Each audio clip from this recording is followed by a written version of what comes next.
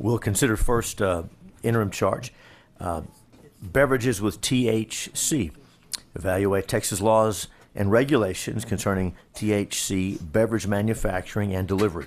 Report on the current regula- regulations and safeguards Texas may or may not have in place for drinks with any amount of THC. Recommend legislation to protect Texas consumers. We'll begin testimony on this first charge, and the chair calls Timothy Stevenson from the State Department of Health Services, uh, Lindy McGee, and Thomas Graham. Mr. Graham, are you a, are you a lawyer? Are you? A, oh, that wasn't an insult. I'm. we have a PhD and MD, and I thought maybe a JD, but that's okay. Uh, I didn't call anybody When you doctor. say, I know you are, but what am I? Ah, that's what I was expecting. That's what I was expecting. Thank you each for being here. Dr. Stevens, we'll, we'll start with you. Uh, introduce yourself. Give us your testimony. Welcome. Thank you, J- Mr. Chairman and Senators. Uh, Timothy Stevenson, work with Department of State Health Services, Consumer Protection. We're uh, working with uh, oversight of the consumable hemp program. I was here in May for the earlier uh, hearing and just want to remind the committee that uh, hemp in Texas may have up to 0.3 delta 9 THC, but other tetrahydrocannabinols like delta 8, delta 10 THCO are allowed in the hemp product uh, with the statute and the, in the uh, litigation process that we're in right now. Uh, we are enjoined in a, in a, a uh, litigation contesting that part about the other THCs which are currently allowed under hemp. We're not allowed to enforce those right now due to the proceedings. So, uh, just to uh, move on ahead to the uh, combination of hemp uh, and alcoholic beverages or other beverages. So, hemp is allowed in uh, beverages uh, right now in Texas. We have a manufactured license for those. Most often, it's seltzers and, and carbonated waters. Also, juices may contain consumable hemp products. Um, But at bars, there's no prohibition to uh, consumable hemp products being sold as packaged at bars. And if that were to ha- uh, happen, they would require a retail license, just as a retail store would sell consumable hemp products. If they're mixing uh, the, the bar drinks with a consumable hemp product, which there's no prohibition for that, they would require a manufactured license for our hemp program looking at the overall sanitation, conveying the label and the QR code that might go to this, should go to the certificate of analysis for laboratory testing of that product. So those are the two things that really get directly to the topic today in terms of beverages and alcoholic beverages. Um, and uh, I believe my colleague uh, at Texas Alcohol and Beverage Commission also could say more about the alcoholic components. Subject to questions. Thank you very much. We'll, we'll, we'll, we'll hear from each witness, and we'll probably have questions for each of you. Mr. Graham, welcome back. Uh, introduce yourself. Give us your testimony. Good morning. My name is Thomas Graham. I'm the Executive Director of the Texas Alcoholic Beverage Commission. I'm not a lawyer, but I'm very grateful to be here this morning. So, Chairman, Vice Chair, members of the committee, thank you for having me. So, our commission, of course, regulates alcoholic beverages. And at this point, every product that gets sold in the state goes through the federal government first. And it goes to the Tax and Trade Bureau. And they do an analysis of those products and determine whether or not the, com- the products used in those are legal to be sold. At this point, they're prohibiting um, CBD, THC products to be put into alcoholic beverages. So the commission has not seen any products like that approved. Uh, and Doctor here can get more into some of the differences, but essentially the TTB and the FDA have worked together, and at this point, they're not approving anything with that. So we're not seeing any alcoholic beverages with the THC products in them. Now, that's what we're seeing in terms of what comes through for approval. And the, and the doctor touched on what could happen at, let's say, a bar. So a bar itself in the state of Texas who can mix pro, mix drinks, which is what they do, right? They could have an alcoholic beverage and then mix something into it. Um, and in that case, if it's a legal product that they're mixing, you know, we're not going to have a position on that unless it becomes a problem with intoxication. Drugs have been in bars forever, and we look at it when our, we're charged with going into a bar, and if there are intoxicated persons there, we look at is the bar encouraging that? Is the bar serving people that are intoxicated? We're not going to know whether it's an illegal THC product or it's, you know, something else. So that's kind of where we would still take action in that scenario. At an off-premise location, let's say a gas station, something along those lines, uh, we, that regulation falls under DSHS at this point. And uh, we would be there to support them. We've talked about, um, should we run into problems or we understand there's problems there, we would reach out to them and vice versa. And I think that will help in the future. And for us, again, we, we're, we're monitoring that. Doctor mentioned CBD products and seltzers, and we, we have seen those out there. But again, they haven't been mixed with alcoholic beverages and come to us for approval. So that's not something we've seen. We have been closely monitoring it. Thank you. Dr. McGee, welcome. Hi. Uh, Get close to the microphone and introduce yourself. Go ahead. Hi, I'm Lindy McGee. I'm a pediatrician in Houston, Texas, and I'm here representing Texas Pediatric Society and Texas Medical Association and myself. My main concern I want to talk to you today is the effect that these products are having on children and adolescents. Um, what we are seeing in children is increased um, accidental ingestions. Um, so, talking to my colleagues recently, they were telling me a story about um, a displacement during Hurricane Beryl. Someone was staying with their aunt. Um, a school age kid found a chocolate bar in the fridge, gave half to himself, half to his mom. Both ended up super high and in the ER um, because there's no child-proof uh, container or labeling for these products. Same as with um, the uh, beverages. Um, what we're seeing in adolescents is really high dose products um, that increase risk of addiction, increase risk of psychosis and mental illness associated with these products. Um, when you um, give these products to someone with a developing brain, especially in adolescence, you drastically increase the likelihood that they will become addicted to these products. Yesterday, I had a 17 year old patient in my office who had cannabis use disorder, who had tried to stop several times but was not able to. And his mother was begging us for help with it. Um, so, you know, this, this is where I'm coming from as a pediatrician. Um, when you look at um, combining it with alcohol, which you know these gentlemen were talking about, um, we know that the, the effects are additive, um, are are multiplied, right? You have the the um, hindrances associated with one plus the other. Um, I gave you, I brought a sample for y'all. This is empty. Um, it is uh, something I bought from a Texas retailer online for $35. Um, it says here on the bottle that it's four milligrams of THC is one serving, and this bottle has 101 milligrams in it. Um, this is easily to me, packaged as something you should use as a mixer. Um, stick it in your margarita, it's agave flavored. And it is Delta 9 THC, hemp derived. So legal. When we're talking about uh, regulation, um, if these products are to remain on the market at all, we really need to have a minimum age of 21 um, to make sure that we're protecting that developing brain. Um, they need to be in child resistant packaging. They should be appropriately labeled, and we should know what's in them. Right now, since there's no regulation, it says it's delta 9, it says how many milligrams. There's no way for me to know that for sure. No one's checking that.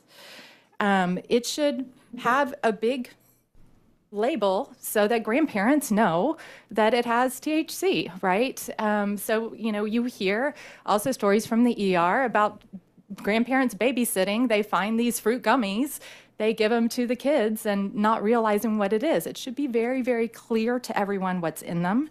Um, they should be regulated so that one dose is in one package. Um, so a lot of these gummies and beverages, you know, this is 25 doses in one package. Um, and obviously, the appropriate agencies, such as the Department of State Health Services, Texas Alcohol Beverage Commission, should have authority over these. Um, you know, we would love always research, more research into knowing uh, the effects of these products on adults and um, adolescents um, in public education. Thank you, Doctor.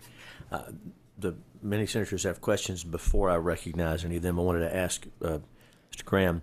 Um, you were talking about you used the term off-premise, and uh, um, I think folks in the in the alcohol regulation world know what you mean by that. But I think you said an off-premise location like a convenience store.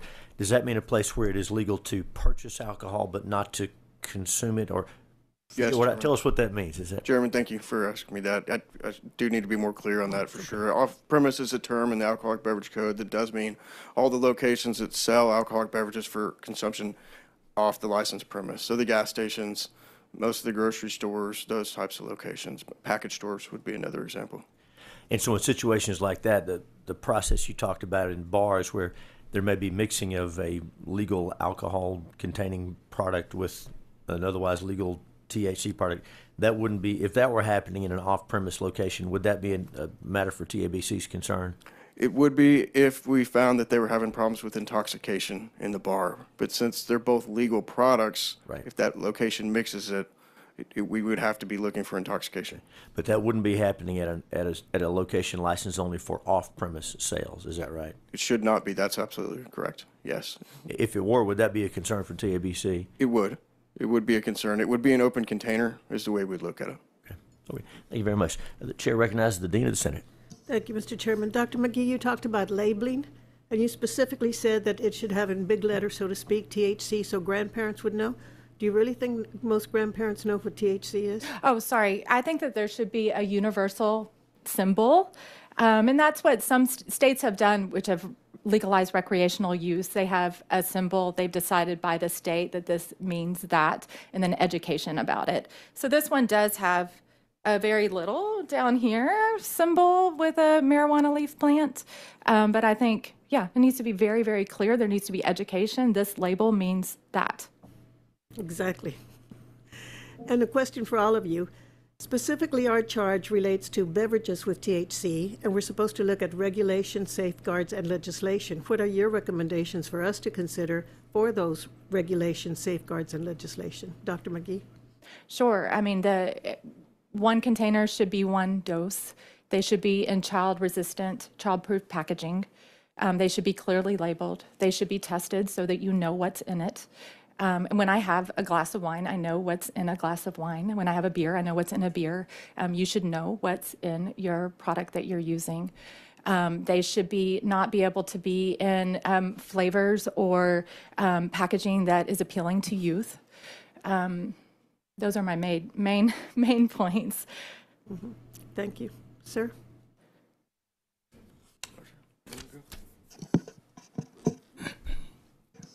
Mr. Graham? Oh. Thank you, Senator. You're welcome. Well, as the Alcoholic Beverage Commission, of course, I'm hesitant sometimes to, to make any kind of recommendations, but things that have been brought to my attention that have thrown out there have been an age gate, like 21 and up, um, and a, a system that's, we've looked at other states. I know other states with cannabis, some of them regulated as a- in a three-tier system, so that it's regulated from top to bottom. And I, I, we've had some time to visit the doctor and I about this. We need to probably spend more time on it. But those are some of the things that have been brought to my attention. Thank you. Yes, ma'am. Dr. Stevenson? Yes, ma'am. I concur with the doctor uh, about the, um, uh, the dosage. Uh, There's not a unif- uniformly accepted um, dose of, or a serving size uh, for consumable hemp products or THC. Five milligrams has been used in uh, some studies. Uh, Some states have implemented uh, two as two milligrams as a serving size. So there's, uh, that is a consideration. And age, uh, we've heard from our uh, consumers as well that the age restriction would be a consideration. Is there anything you are looking at in terms of rulemaking by the agency? Not at the moment, ma'am. Thank you. Thank you, Mr. Chairman. Thank you, Dean. And before we move on, Mr. Graham, I, again, you're you're wisely directing your testimony to us, and we know what you mean. For the benefit of those listening, you said some states regulated in the three-tier system. Tell us what that means. Similar to the alcoholic beverage uh, industry here in Texas, you would regulate the manufacturer and permit the manufacturer, permit the distributor and permit the retailer, and then ensure that those parties don't have any overlapping ownership in between the three. And it helps ensure that it's taxed, taxes are collected through the process. Um, It gives the state more ability to go in and check each piece and of who had possession, where it's coming from, the source, um, and hopefully gets us to a position where testing could be done to ensure that if there was a milligram limit on there, that it, and the product that was in there is actually a safe product and approved. Thank you very much. Um, Senator Perry, you're recognized. Thank you, Mr. Chair. Um, Dr. Stevenson, so I want to qualify for the committee's benefit. You led off with, and I understand it's in litigation, but to be clear, I'm going to be very consistent, and and it sounds like Polly Parrott from the last hearing. Hemp started as an agricultural bill to help farmers. Clearly, that was the intent from the federal level. Texas was looking at, okay, feds have approved 0.03%, effectively Delta 9 at the time, as a counterpart to the fiber industry, as being something that people could consume, basically. Is that a fair statement? Yes, sir. From that point, and in 19, when we did hemp as a fiber bill for my agriculture industry, which has fell flat on its face because of all the other non-Delta 9 components, has tainted it, ruined it, and screwed the market up to where nobody's really growing fiber in the hemp market. It has proved to be a boondoggle for those who have invested in it because they had a legitimate desire to make fiber a big market, but it's not going to happen because of all this other stuff around it. As I said, it would if we got cute. So, but you let off in your testimony to be clear, those are currently, quote, viewed as legal, but it's in litigation as to whether or not. I can tell you, as the intent and the author of that bill, it was never meant to be legal, to be above 0.03. So therein lies the conversation we're having today. We've got all these chemists and we've got all these synthetic versions of Delta 9. Everything runs through Delta 9 and then it blooms into something else. So, really, the debate of the day is how we regulate something that was never the intent of the state to have in the first place. Is that a fair statement? It's hard to get uh, into the intent of the I. I was the author. uh, and the Yes, intent was we were going to have an agricultural bill that supported the federal legislation. If it were not for federal legislation, we wouldn't even be having this conversation today. That was our plain read of the statute. Okay. And so in the drafting of that, we didn't know about the flower and the sensitization into delta 8s and 10s and all the other versions. We we had some clear readings that that was probably where it's going to come from some other places, but we didn't adopt that into the current statute. So to your point, it's challenged whether it's legal or not. It's above 0.03, it's illegal. Yes, sir. I hope the court Delta 9 only. Delta 9, but all these others. So as we're having these conversations, I want to make sure we're clearly on the same page here as members. You can go to the across the street from the Capitol here, and you can pull a sample of product, and it'll go from 0.03 always the way as high as to 40% THC content. I mean, it's all over the place. So there is no regulation of the manufacturers, and there won't be. You can't pull the genie back in the bottle to get it back this restrictive. And if we do that, then you're going to have to add millions of dollars in enforcement to go out and police this stuff. So the reality of really getting this back and by trying to minutia and maneuver through where we're at today, be it through liquid form and beverage or not, is not reality. So you just get rid of it. If you can't explain it, understand it, and control it, you get rid of it. And I think that's what the intent of the lieutenant governor, and I support that based on what I said in 19. So, uh, but I wanted the members to understand. You made it sound like this is all good. Well, it's really bad actors taking advantage of a statute that was meant to do something good, and we're we're way past that today. So that's where I'm sitting as a member. The bill's not drafted, but to have conversations how we weed through this, no pun intended, is is really a moot point when you have no control over the THC content, no matter what the label or age gate is. And it reminds me of the vape conversation. All these guys were talking about how good it is, and it's not nicotine addictive as much as what cigarettes were. And it was really, we knew, I, I can go back to the, the, the archives and listen to those hearings. Those guys were targeting Joe Camel kids. And now we're going to age gate it where we've already got half the kids in the population addicted to it. Genie's out of that bottle too. So shame on the industry. That's my pitch. That's my preach. But I want the member to understand this is maybe perceived legally today because we didn't cover it in a statute. We're going to try to fix that. But don't deceive yourself. There's nothing good in this product because you can't control what's in the product. And I think Tribune or somebody did a sample across the board, pulled 10 samples, every one of them were busted, and some were as high as 40%. So that's where we're at. That's the landscape. To say that it's legal is a misnomer. It was never intended to be legal, and it's been exploited for nothing purely but profit and money. And now we have an addiction. Another what what did you call it? cannabis syndrome? Uh, cannabis use one. disorder. Yeah, So there you go. We're, we're, we're now we're going to pay therapists and state dollars are going to go to helping people out of the mess that unfortunately people saw to exploit. And I'll just say, for the benefit of those listening or watching who uh, may not have all the context, um, and maybe there's people concerned about regulation or overregulation. To be clear, we're talking about children. We're talking about children. Th- These products are available to children with no limitations. Uh, we we're relying on the good faith of the manufacturers and the retailers, and that's uh, that's a sliding scale. I'll just say that. So, uh, Senator Paxton, you're recognized. Thank you, Mr. Chairman, and thank you all for, for being here. Um, first of all, on your note regarding the tiny print and the interaction with grandparents, the older I get, the more offended I am by tiny print in general. So, My reader's right here. right. so um, you had had mentioned that you purchased this online. I was just curious, were there any barriers or hoops for you to jump through as an adult to purchase that online? Good question. I had to click something that said I was over 21, and then it got delivered to my house when I was in clinic, so I wasn't home. My housekeeper told me she had to sign her name and her date of birth. Okay.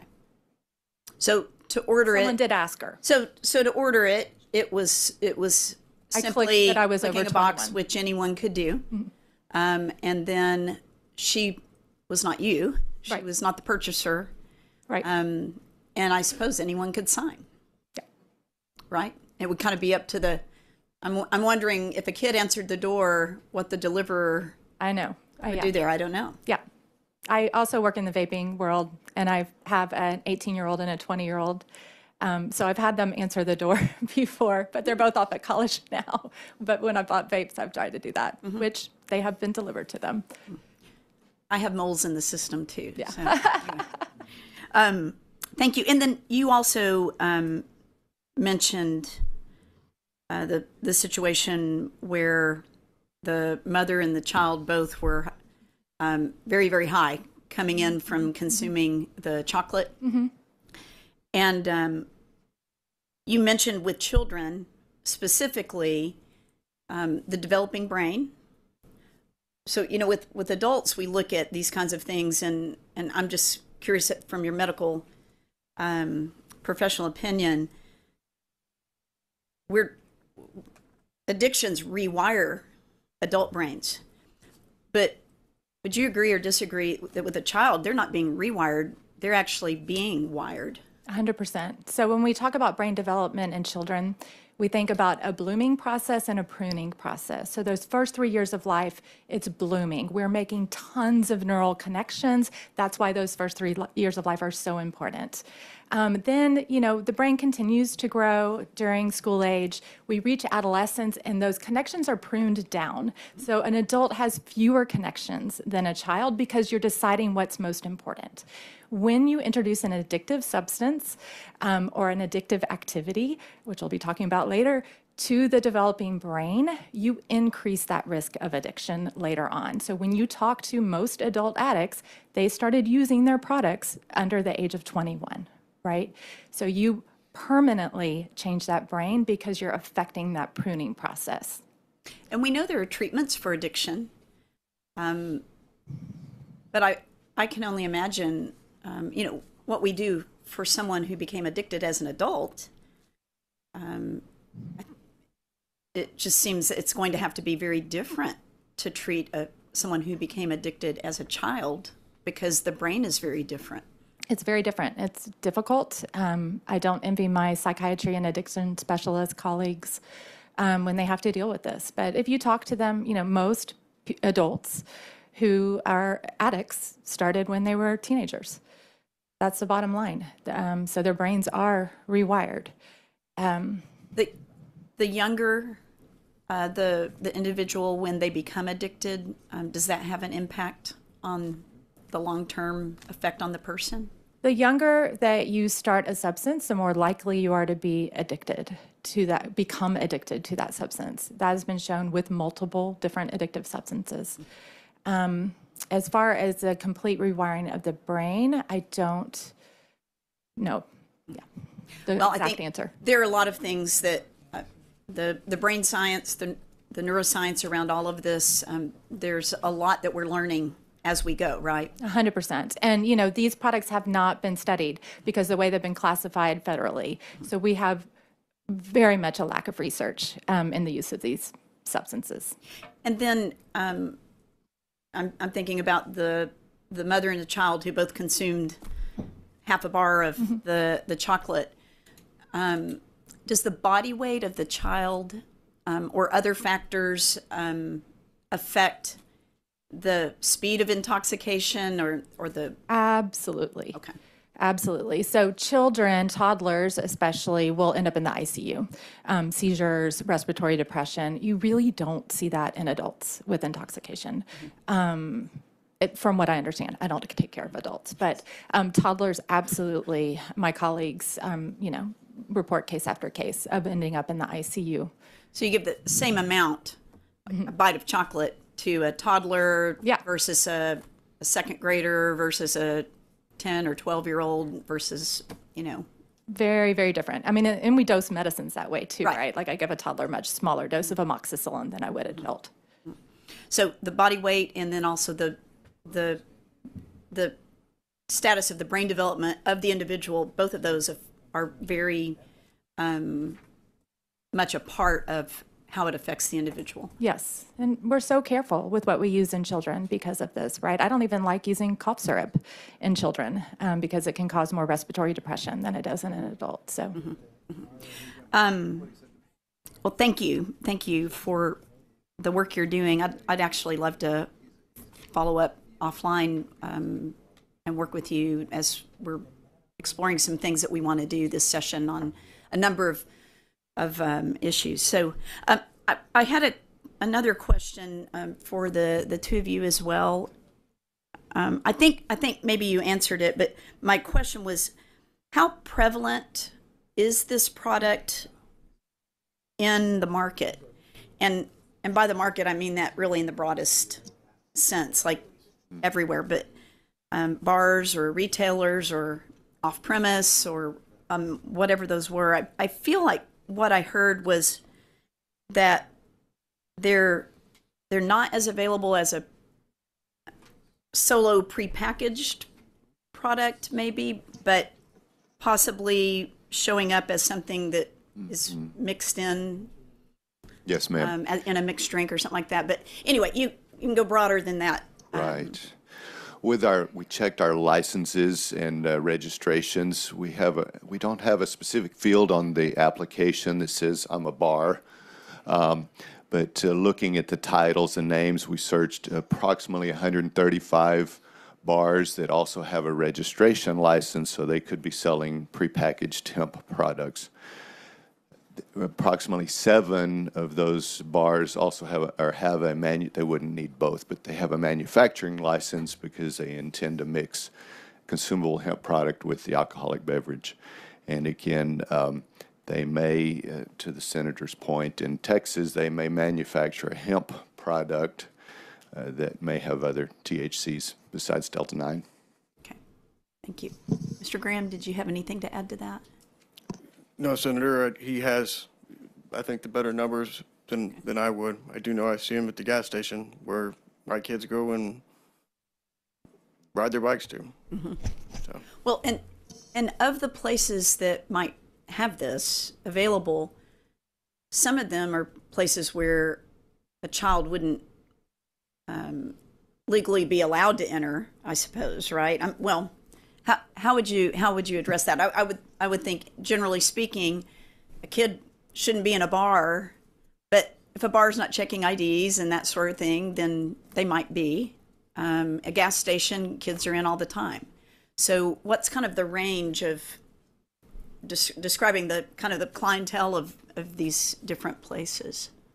there's, for, under the alcoholic beverage code, there's only one statute that or one type of permit that actually has an age gate where you can't enter without your parents, and that would be a package store, so a liquor store. Everywhere else, even a bar, um, kids can go in there freely, if, assuming that location allows it. It's their policy, Okay.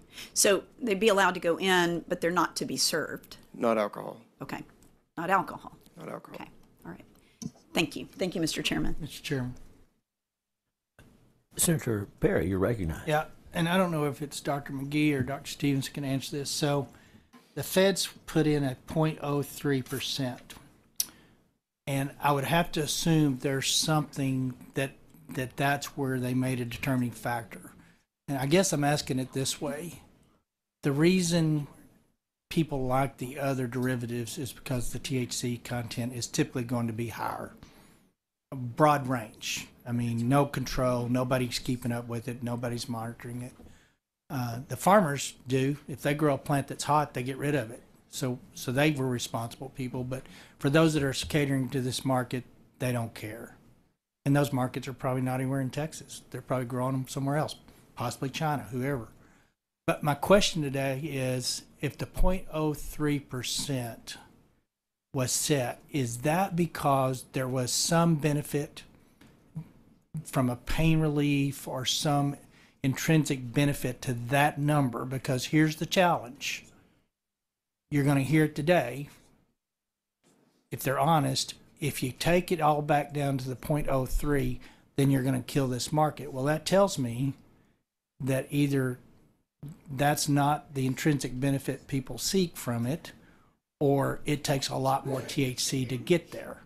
Do you have scientific or medical data that would say 0.03 does give some relief for headaches or joints or pain or whatever that it started out? I mean, I remember a day when that was kind of the the, the small, you know, you can sleep better if you take this, and it was, I assume, at that point, fairly low dose stuff. But this is off the top. So, which one of you want to take that on? May I start and then I'll pass? So I believe the point three was probably set for the crop itself. Okay. Approximately 10 to 15 percent of crops nowadays are busting the 0.3 in the field with delta 9 THC.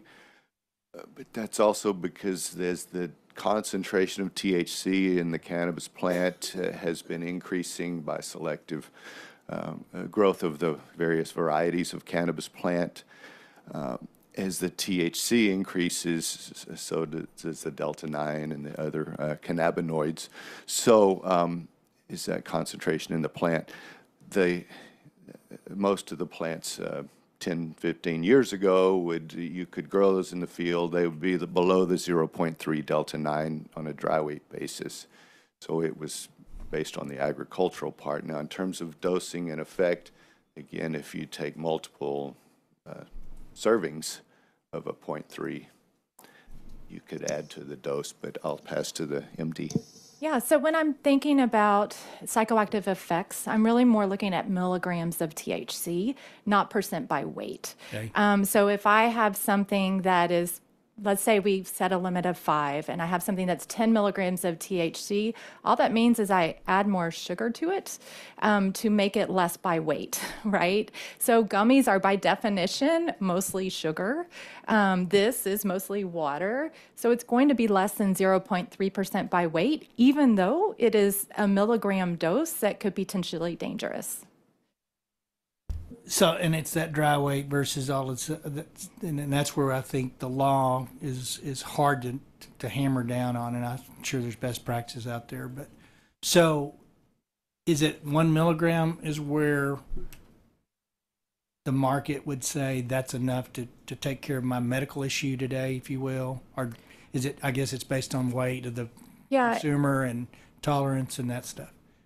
All of those, and it just, we just don't have data. We don't have research to say this many milligrams helps with a headache, this milli milligrams, or you know, is any better than anything else on the market there. Like you know, I don't prescribe these products because I don't see enough research to tell me that the the risks, I mean, the benefits outweigh the risks.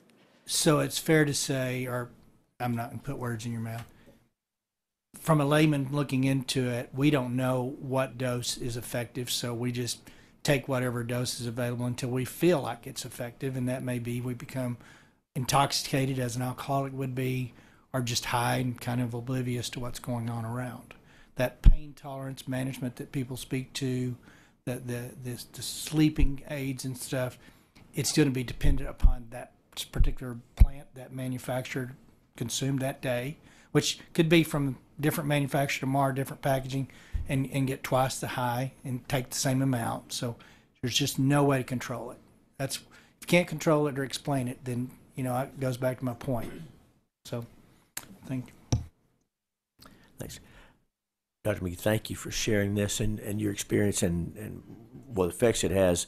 I, I want to make a, a, general comment to our, our friends from the agencies. Uh, there's always a push and pull when we're implementing legislation, and uh, normally the legislature complains when uh, an agency does more than it was supposed to do or does something that the legislature does not feel like it authorized the agency to do.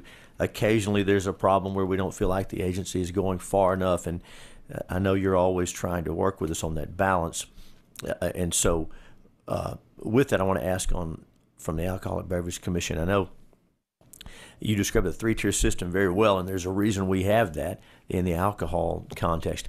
So, I have a couple of questions about that.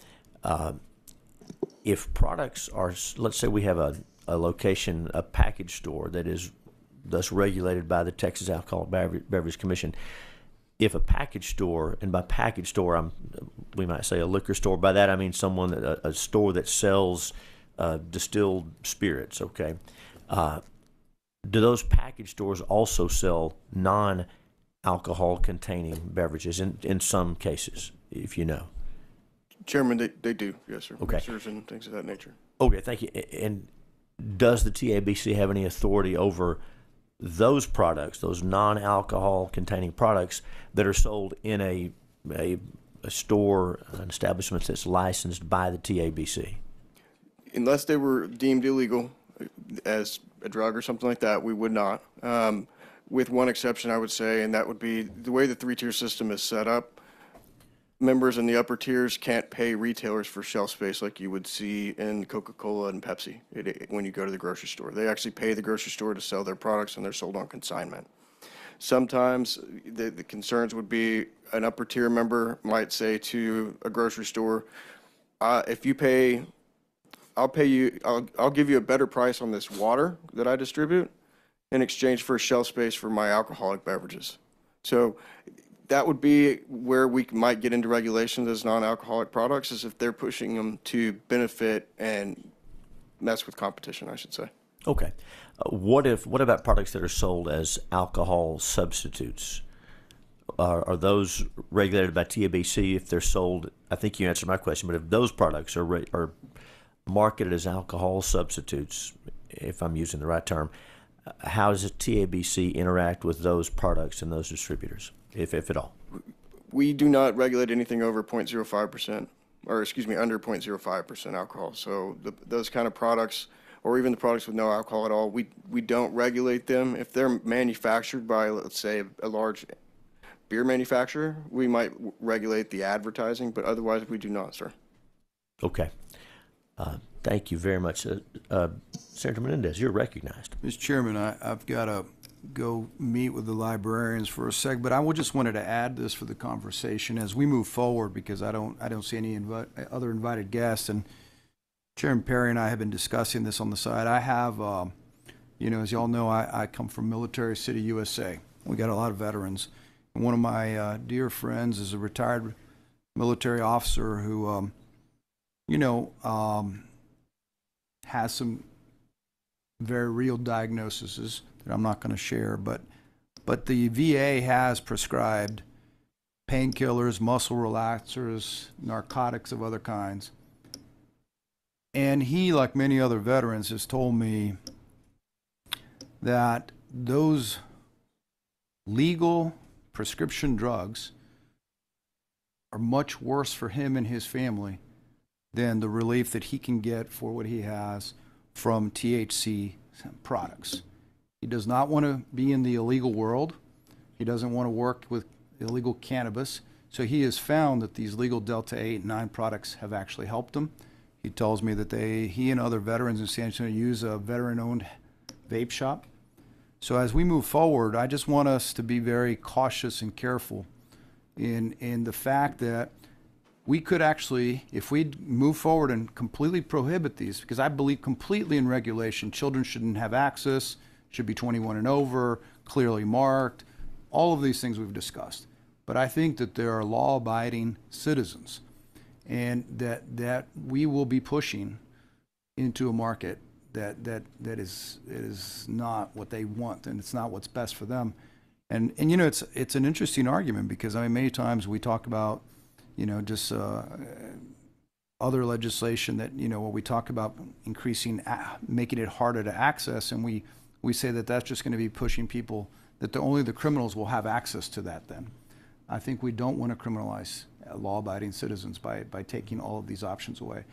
I agree with you, my, my colleague. This, the way this industry has come up was uh, probably not the best way, wasn't the best way. They took advantage of a situation, and we should regulate it heavily.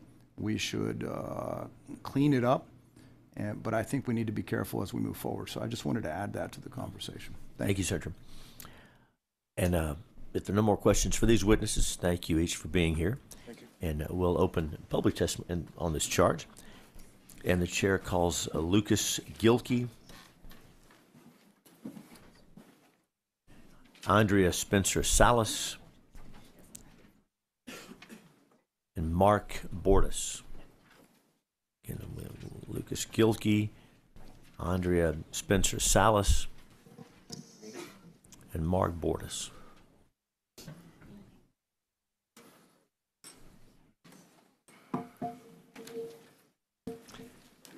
Welcome to each of you. We'll begin on my right. Mr. Pull that microphone closer so we can hear you and Yes, sir. introduce yourself and go ahead.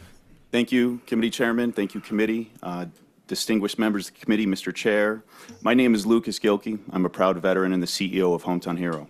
Our goal has always been to provide safe, legally compliant, quality products for responsible adult use and are honored and proud to be among the founding members of the Texas Hemp Business Council, an industry organization that helps advocate for modernizing Texas's robust consumer safety requirements while protecting business investment and the families of people employed by this growing industry.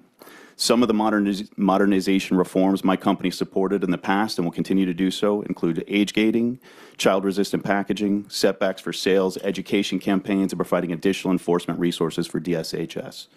As a veteran and entrepreneur, choosing to enter the hemp space rather than try to participate in the sale of federally illegal marijuana via the state program was not a difficult decision. Federal legalization, as well as Texas's initiative taking stance on regulation, made the decision even easier. Our business currently supports more than 60 families in Texas. In 2022, the Texas hemp industry had an economic impact of $8 billion on the state, employing 50,000 people, as well as the ancillary businesses supporting the industry, including truckers, delivery drivers, insurance brokers, landlords, payroll services, banking, packaging providers, and shipping companies. THC-infused beverages are an immensely popular addition to the hemp cannabinoid space, with a growing number of large international beer manufacturers, craft brewers, and distillers acquiring or economically partnering with hemp entre- entrepreneurs. We too are looking at it very closely and have hope to have our own offering soon. To that end, we strongly believe and would like to see hemp-derived beverages be subject to the same testing, labeling, 0.3% THC limitations, and consumer safety requirements that currently apply to consumable hemp-derived products under DSHS. Further, we believe and would support legislatively setting a minimum age requirement for consumption and setbacks from schools as mentioned previously. At Hometown Hero, we have voluntarily instituted and adhered to age gating. And finally, having put everything into this business and growing it into something we are very proud of, we respectfully urge this committee to consider that these products are considered foods, are non-alcoholic, but given the adult nature should not be subject when sold at retail level to slotting fees. Please know that we want to collaborate with legislators in protecting small businesses and safeguard the public interest against anti-competitive forces, ensuring there are no monopolies over hemp and CBD products. Keep Texas, Texas. Keep Texas support of small business alive. Thank you for your time, and I'd be happy to answer any questions. Thanks for your testimony. We'll probably have questions after we hear from each witness. Uh, welcome. Introduce yourself and get the microphone close and go ahead. Good morning. Good morning, Chairman and committee members. My name is Andrea Salas Daniels, and I am here today as the VP of Corporate Affairs with Dreams Brands and also a founding board member of Texas Hemp Business Council. And our company, Dreams, is well known for our retail chain, such as CBD Pros, which operates across Texas, and we're also the manufacturer and packaging of Brio beverages that specializes in hemp-derived THC beverages. Dreams Brands has proudly served Texas since 2018 when hemp was first legalized. We started as a small father and son business. In just six years, we've grown to be a thriving company that now employs over 100 hardworking Texans. Our dedication to the state is firm, and we choose Texas as our home because of its pro-business environment and the tremendous opportunities it provides for growth and innovation. We are here today to speak in support to common sense regulations around hemp-derived beverages. These products are to be safe for public consumption, and their continued availability brings tremendous economic benefits to Texas. Our industry generates revenue, creates jobs, and contributes to the well-being of communities across Texas. So by supporting businesses like ours, we are helping to drive economic growth and keep Texas at the forefront of innovation. At Dreams Brands, we fully recognize the need for, need for responsible regulation to ensure consumer safety. That's why we welcome age restrictions and we, we support restricting access to hemp-derived products to individuals under the age of 21. Clear packaging guidelines. We recommend packaging that is both clear and responsible and enhanced safety measures. Our priority is responsible consumer education, and we are committed to filling any gaps where consumers might otherwise turn to, to suspecting manufacturers and unregulated online resources. We love Texas and want to make it our home forever, and we believe that a well-regulated industry would benefit everyone, promoting safety and supporting economic growth and keeping Texas at the forefront. And I too welcome any questions, and thank you for your time. Thanks for your testimony. Mr. Bordas, pull the microphone over there, introduce yourself. All righty. Go ahead. Chairman Hughes, members of the committee, my name's Mark Bordas, and I'm testifying before you this morning in my capacity as the Executive Director of the Texas Hemp Business Council. Texas has a long, rich tradition of being led by rational, business-friendly legislators who strike a proper balance between public and private interest. And according to a 2023 economic study of the hemp-derived cannabinoid industry by Whitney Economics, total Texas cannabinoid sales were estimated to be more than $8 billion in 2022. And in that same study, Texas cultivation of hemp-derived cannabinoids were estimated to be $17 billion.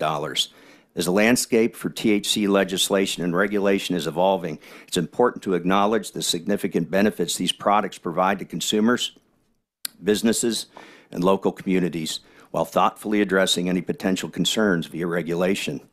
THC infused beverages offer an alternative for adults seeking benefits of THC consumption as opposed to other THC delivery means or more traditional adult beverages. The ongoing legal sale of these beverages allows for regulations and government oversight, ensuring product safety standards benefiting consumers. When sold through licensed businesses, consumers will be able to determine that the THC content is properly sourced, labeled, and free of harmful additives. As every student of history knows, prohibition of alcohol was a catastrophic failure, and black market alternatives leave a wake of sickness and death. Any black market, whether it be for alcohol or THC products, imposes inherent risks to the consuming public. With the state's proper education and regulation, however, individuals can make informed adult decisions about what they consume, its dosages, and effects. In closing, the days of circling the wagons when a threat appears are long gone, and unscrupulous overseas providers will fill any vacuum via e-commerce sites or simply from the back of their cars. Prohibiting THC, THC-infused beverages would not only stifle legitimate and growing industry, but could also drive consumers to these illegal sources. I have attached with my testimony recommendations for regulation and submitted for the committee's consideration. Thank you. Thanks for your testimony. The chair recognizes Senator Perry. Thank you, Madam Chair. Uh, so, so what I hear when I'm listening to you guys, it's not about the safety or consistency, the the um, to, for the consumer to know what they're getting. It's let's label it and say it could harm you. Let's make sure that there's a big fat marijuana sign on it so someone that thinks marijuana may be bad is not going to buy it. And let's, for conscience sake, let's just say under 21 can't have it. That's what I hear from you. But here's the question of the day. I, so I would assume that the largest percentage of your sales prior to flower and everything is Delta 8. Is that a fair assumption? Is that the bulk of your business is Delta 8 sales? You want me to answer? Either either one of you, any of you? That's incorrect. Incorrect. So what is the bulk? Is Delta 9 your sales? Correct. So you sell Delta 9 and Delta 9 by legal had to be 0.03. Uh, it's, I believe it's 0.3%. Yeah, 0.3. So so you're selling the bulk of yours is Delta 9, which is I think different than what I heard in May, but so you should not have a problem with effectively moving to I don't care whether it's a derivative, a Delta 8, whatever, as long as it was 0.03 percent dry weight. It, it, you could you could move your entire inventory down to technically what's legal under the law today, with no manipulation through synthetics that you then lose track of THC content by manufacturers and stuff. You'd have no problem with that. We're already there. You're there. So there's not a product on your shelf today that wouldn't hit that mark if for THC content. Uh, I, I'd have to go back through and look through all of our COAs, but the vast ma- majority of our products would be fine, and they're, they're currently legal. Well, that's splitting hairs. Courts will decide what's ended up to court. So, do you support the banning of Delta 8? Because we, we really made the legislation around the Delta 9. We don't support the banning of any cannabinoids.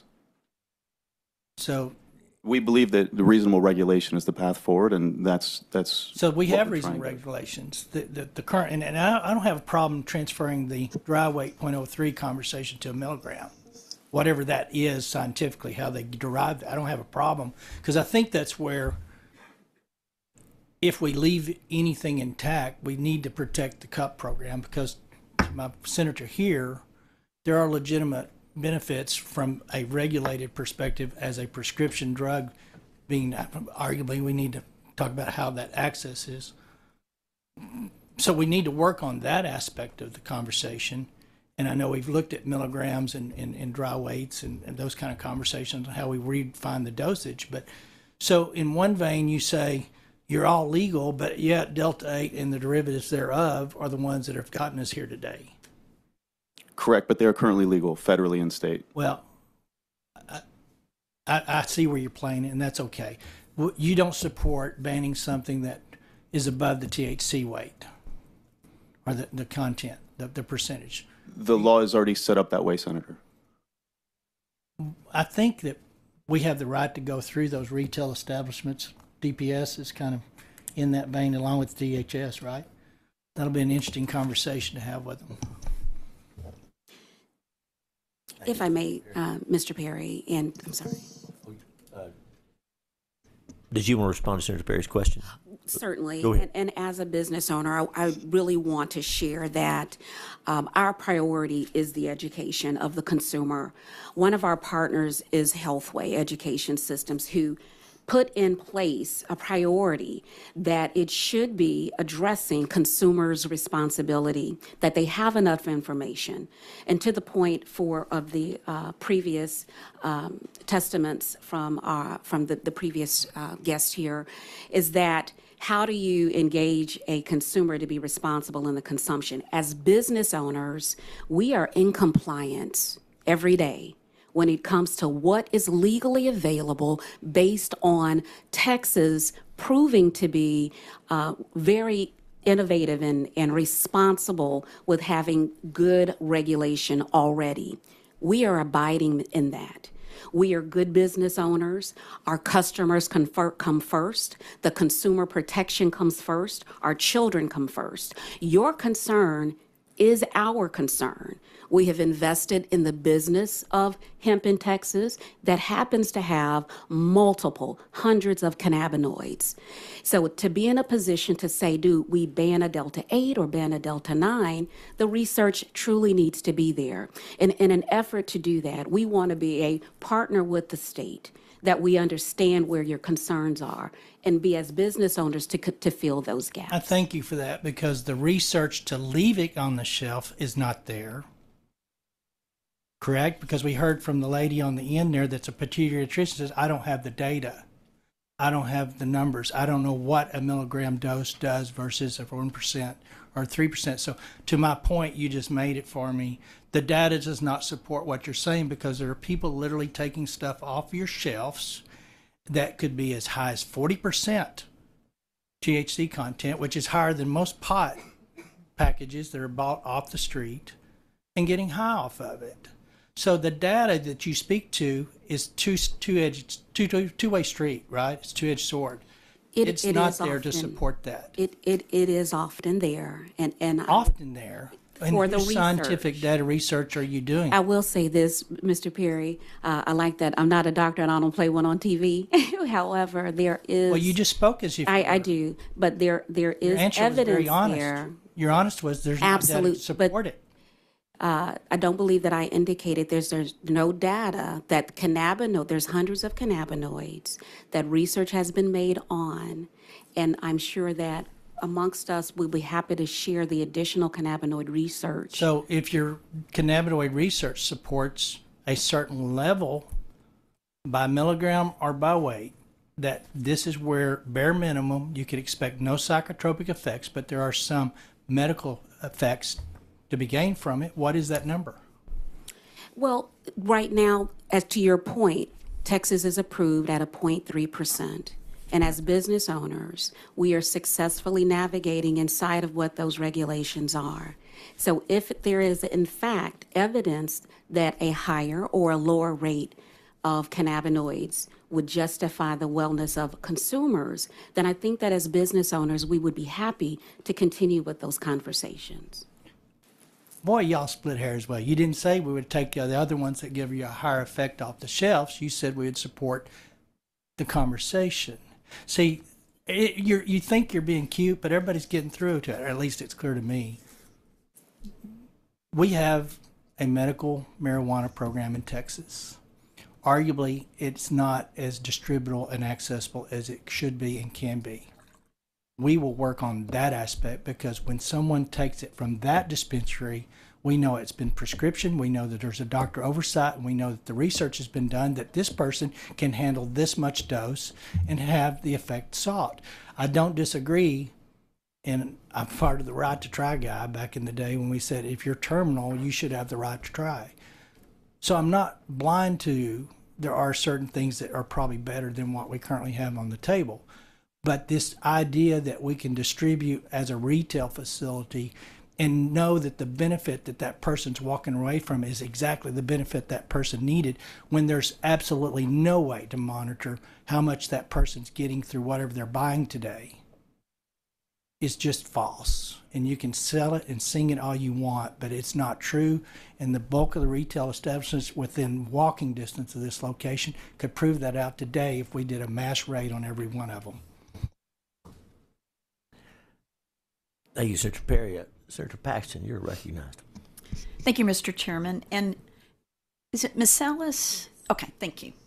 Um, you mentioned in your testimony, I, I, I believe that um, hemp derived products bring a tremendous amount of revenue to the state of Texas. Do you have any sense of the dollar amount? Um, I think that we, we actually have some of that. We have about an eight billion dollar uh, revenue that's that was in, of 2022 Okay. since 2020. So that's in the industry, right? yes, Okay, but I thought that you said it brings revenue to Texas, and I, I guess I was thinking about that in terms of the impact of sales tax, et, et cetera. Do you have any sense of that? I, I know that we've done uh, s- uh, some some research that you have that on yours. Okay. We'd be happy to provide it to you. Absolutely. Senator, just to clarify, the $8 billion was 2022 in Texas only. Okay. So And that it would be- was- It would be the sales tax that was collected on that amount would be the sales tax collected Okay, so that's the, the revenue to the industry. within Texas. Within Texas. And would that be gross or net revenue? Gross. Gross revenue, okay. Do you have any s- sense of what the net revenue is? Um, On the net side, I would say if you start, if you go down the net path and you start adding in ancillary businesses, that, that number gets pretty astronomical, astronomical. I've heard, I've heard if you add in ancillary businesses, it might be as high as $17 billion as of 2022. My understanding of net income is, it- or revenue is it's usually less than gross. Correct, net, net would be less. I was just mentioning the ancillary businesses and the Okay. total. But I'm, but I'm specifically asking, do you have any sense of net revenue? No, Senator, I don't. Okay. I don't know if anyone else had anything to add there. Did you have anything? We'd be happy to drop off. We have a economic impact statement from the hemp industry, uh, specific to Texas as well as nationally, and we'll distribute it to each of your offices. And do you have any data around how much of the product um, ends up in the hands of children? Or in the mouth of children? The vast majority of retailers, from what we've seen, whether it's stores or online, are actually age gating and doing it themselves. Our, our company does it. There's a lot of very easy services that you can use that, that age gate and, and make it very simple to do, even online. Okay. Um, what sort of age gating do you do online? Uh, we use a company called BlueCheck. They're actually a local company and they go through and verify age. Okay. So is it actual age verification or is it? check- Yes, ma'am. They is have to show a driver's license. PD, okay, not what the pediatrician said, which is I checked a box that said I was over 21. No. Okay, thank you. I, I couldn't hear you. You were talking over Senator Paxton. Let her ask the question because I want to hear the answer as well. Yes, what exactly is involved in the age gating process? She asked if it was just checking a box, and I think you said no. But what exactly is involved? It's- on the it online, typically- in the online age gating process. Thank- Yes, I'll let you talk now. in the online age gating process, it, there's a variety of different ones. The one that we use does essentially a soft credit check based on the person, and if there's further clarification needed, it will force them to show a driver's license. So, so the first part of that looks like what? It's essentially Prior, prior to forcing? it's essentially using their address and their credit card to do the age verification. Okay.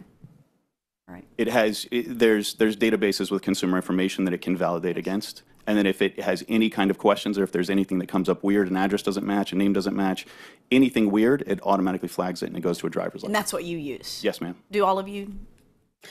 We, do we something do like use that, or an- do you even we do sell have a online? system in place. I, I, it's not necessarily that particular one, but we do age gate at all of our stores, and then there is again a path online for uh, verification age.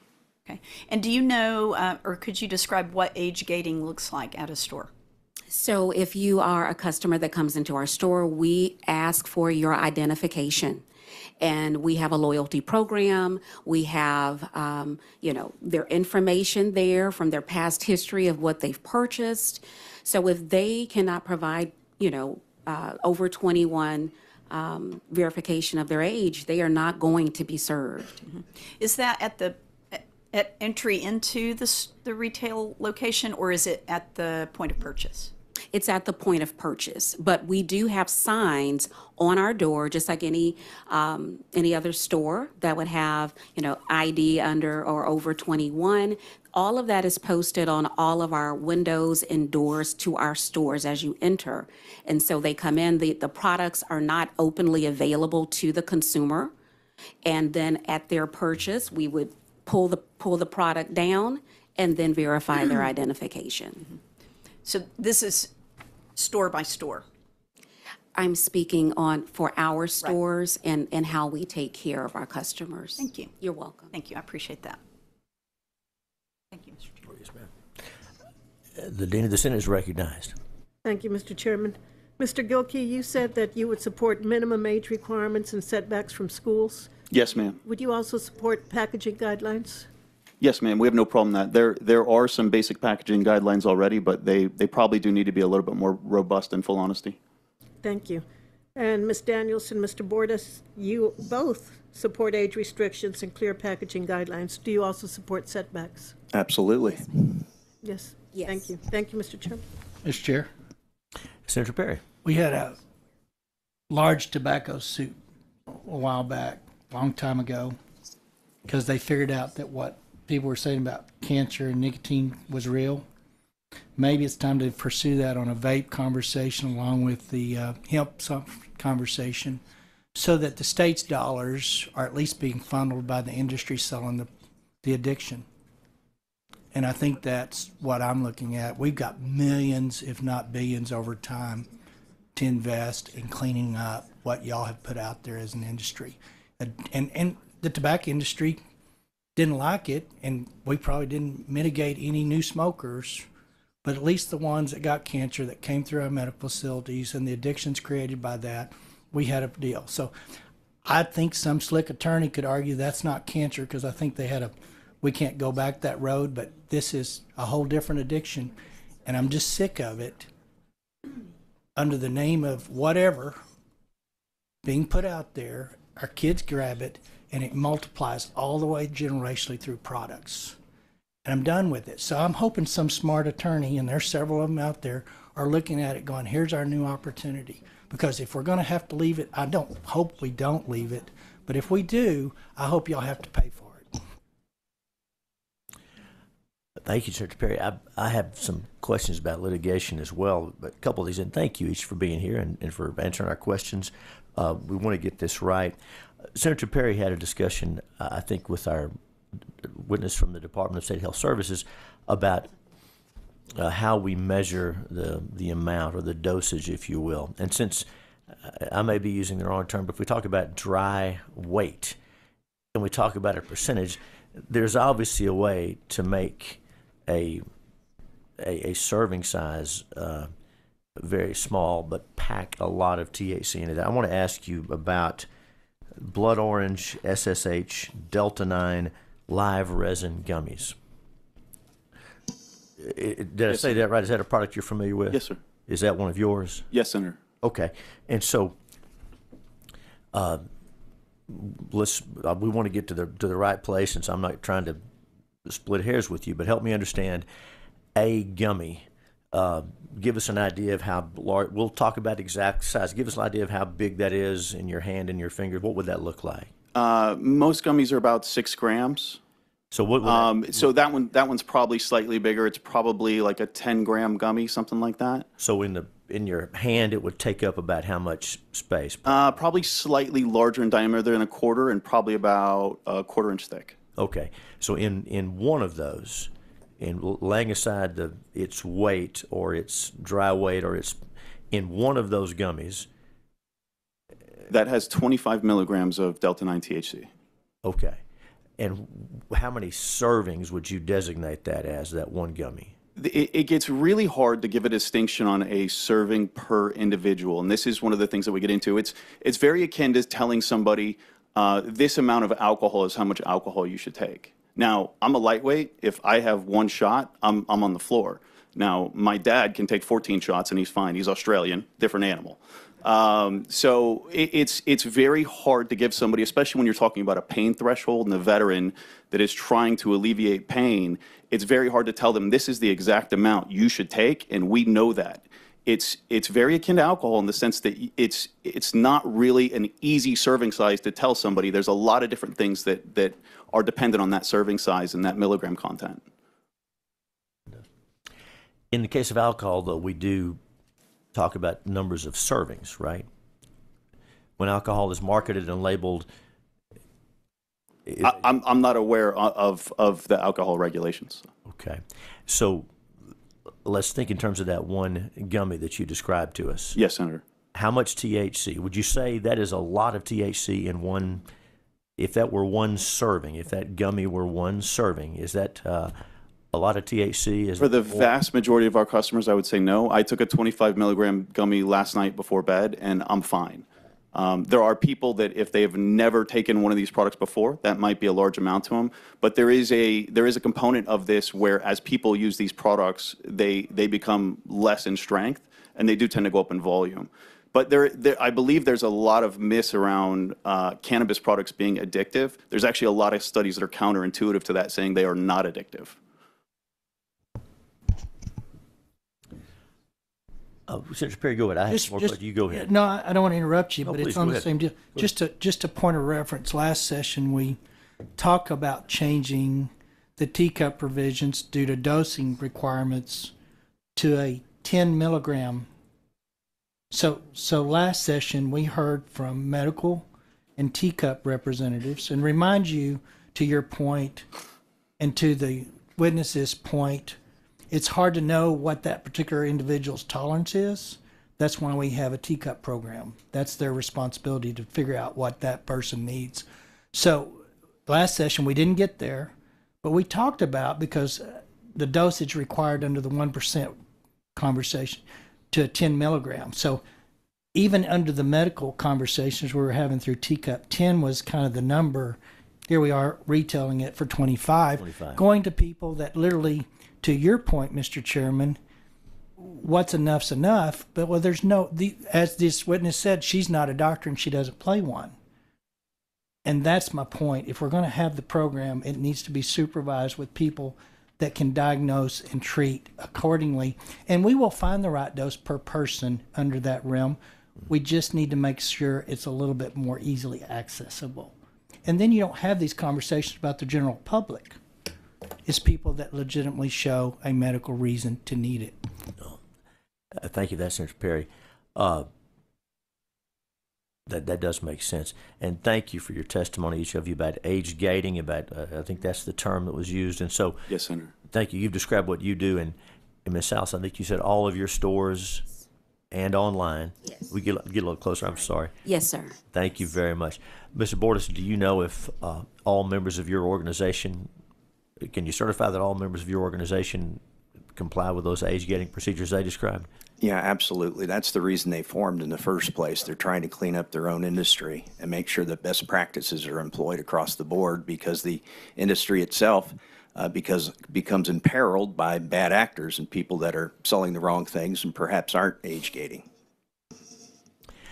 Senator Perry, I brought up litigation, and I wanted to as well. Now, there's a, a, a role for that, and the Constitution gives us the right to, to do that, and, and uh, that's what the courthouse is for in many ways.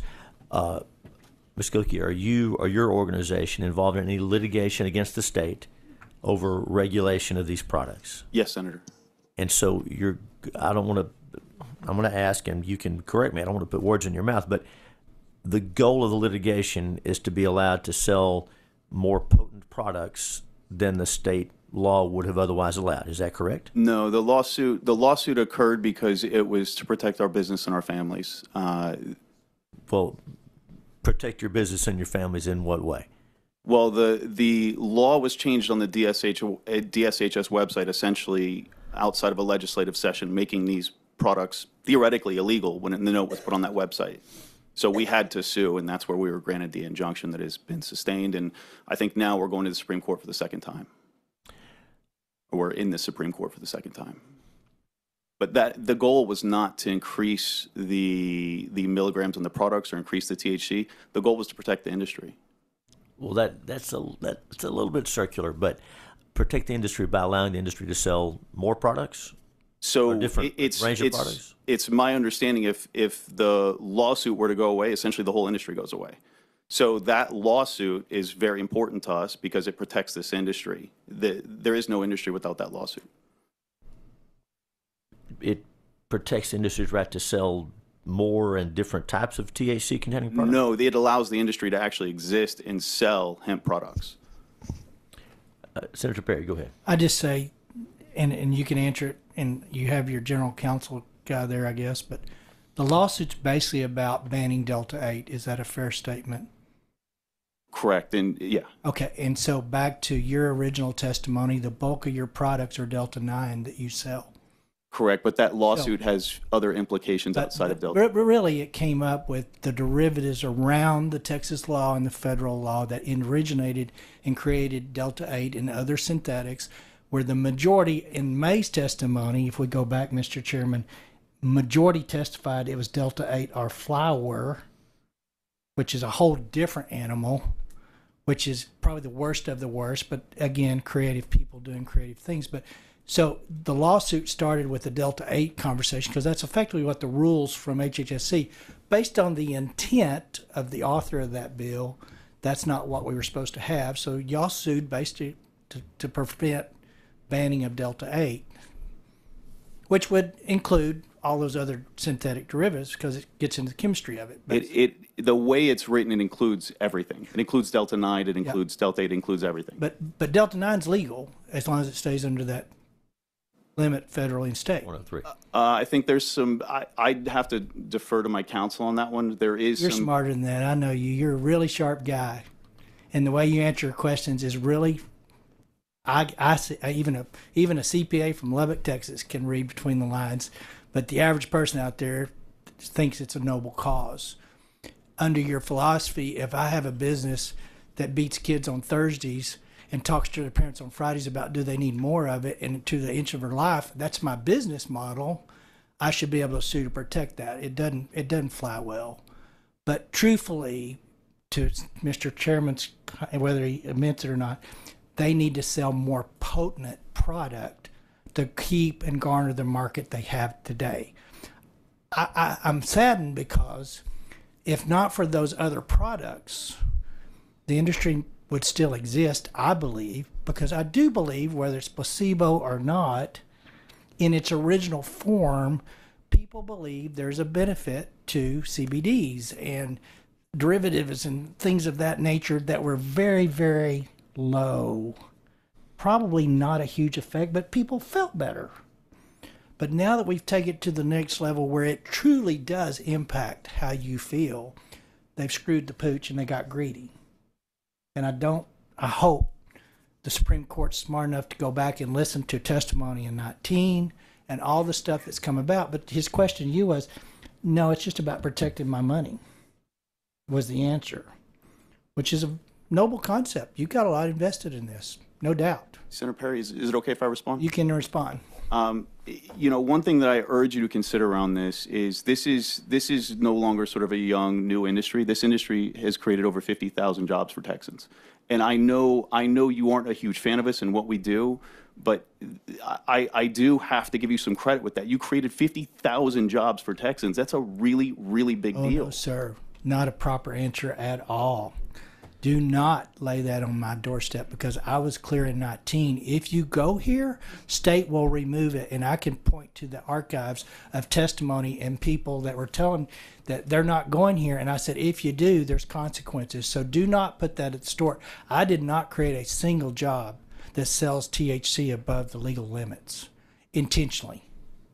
Y'all found a way to get there and I hope the state legislature sees the benefit of removing it. And as far as creating new jobs, we create good new jobs that are actually not harmful and addictive to people. And when we cross over and say any new job because of what it brings to the state of Texas, whether it creates a whole new addiction for us to deal with on the back end, then sad state for the state of Texas and you can point to alcohol and all that. That's long before my history, but as my pastor used to tell me, there is no virtues in alcohol. Look no further than CPS, and probably 80 to 90 percent of the families involved in CPS are drug or alcohol addiction. So you're preaching to the wrong guy. But no, sir, I did not, and you can go to the record. I did not intentionally create pot sales, which is exactly what we've got. Thank you. Senators, any other any other questions for these witnesses? Thank y'all. You're excused.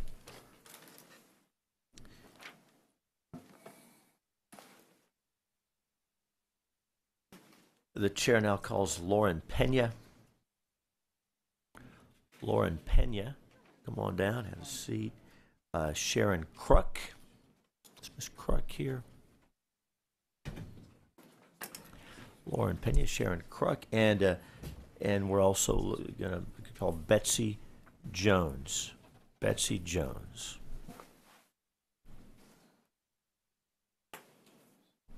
And those are the three rem- remaining witnesses we have who've uh, asked to re- testify on this charge.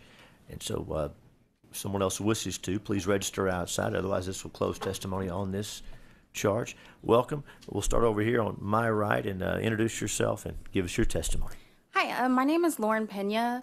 Um, I have PTSD uh, because of childhood trauma, and I do have to say that when I was in my youth, I did recreationally use marijuana. Um, the marijuana back then is not the same marijuana as it is today. It is so much more potent. And when it comes to the Delta 8 and all of these products, I can tell you I have recently tried them, and not only does it make my PTSD worse, it also causes me to get angry. And the thing that I'm concerned with with that is I know I was here just a couple days ago testifying about my neighborhood and how homelessness and drug addiction is deeply affecting it. In my neighborhood alone, within a five block radius, there are seven stores that sell these products. It's detrimental to the community. So, as a mother of four, someone with PTSD, and someone who has, uh, I guess, used these products, I don't recommend them for the public. Thank you for your testimony. Thank you for being here. Welcome. Introduce yourself. Go ahead. Good morning, Mr. Chairman and members of the committee. Thank you for allowing me to speak. My name is Sharon Crook. I'm a constituent in Senator Robert Nichols' district. I'm the executive director of a community coalition in East Texas that's focused on preventing youth substance misuse. The biggest responsibility of my organization is to protect our youth from harmful substances, and intoxicating cannabis products are harmful to youth, so it's my duty to speak up. Since 2019, the availability of intoxicating cannabis products have exploded across Texas. Nearly every convenience store has entire shelves divided, devoted to these products, and now, in addition to all the e-cigarette variations, we are faced with the newest product designed to attract youth, THC infused drinks. Companies such as Sparkling Dope, Tejas Tonic, and Chill State are steadily pumping out these drinks with flavors like Blackberry Lemon Good Time Seltzer and Chill State Pineapple Express Sparkling Water. A quick look at these companies' websites finds the following quotes All natural, fast acting, and it gets you high. Rest assured, these harmful products are not limited to urban areas like Houston or Austin. The market is quickly expanding into rural parts of the state.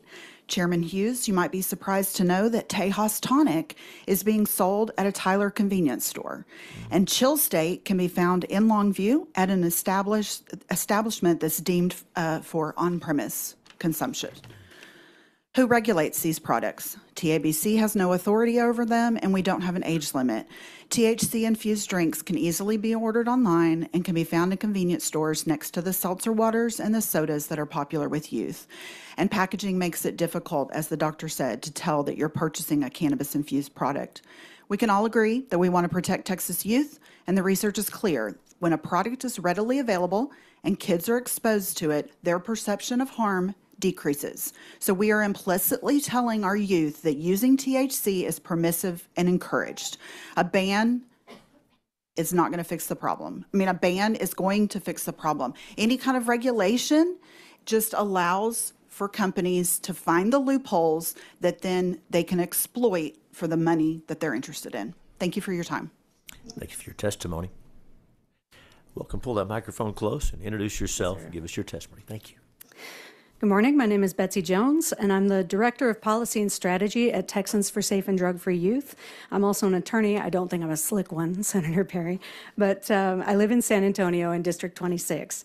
And I'm here today in support of banning all intoxicating cannabis, cannabis, cannabis products, including the beverages from Texas Marketplace.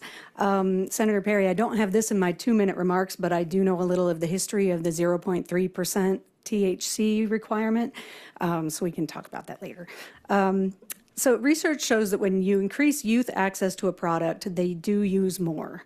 Uh, Dr. McGee already explained why it's so important to keep these products away from youth, and a ban is the best way to do that. I've included some images in the blue folders that show products available in Texas stores at this time.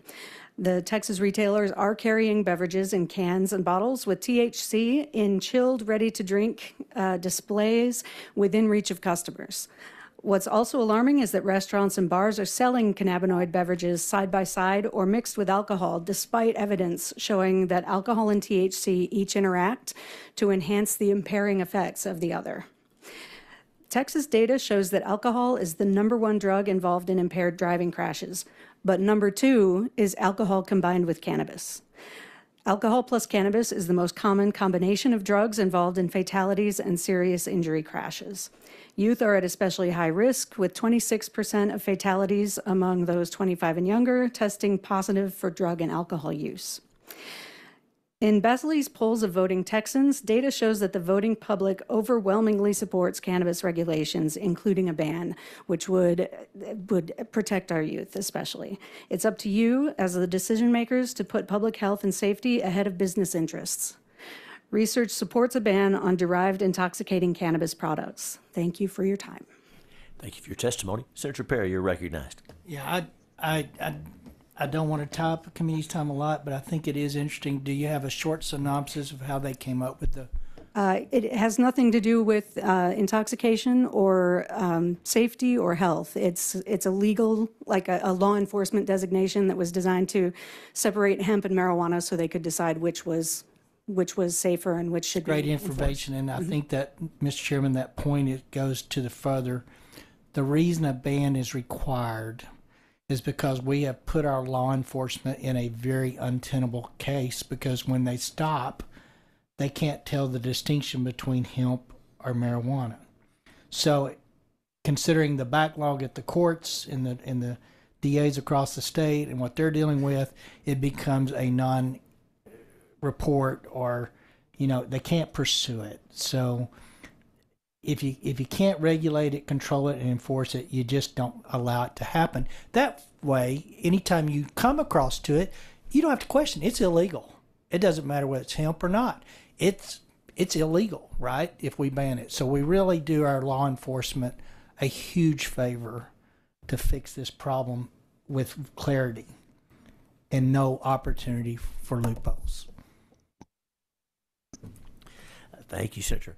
Uh, any other questions for these witnesses? Thank you for being here. Thank you. That's all the testimony we have on the uh, discharge. I thank each of our witnesses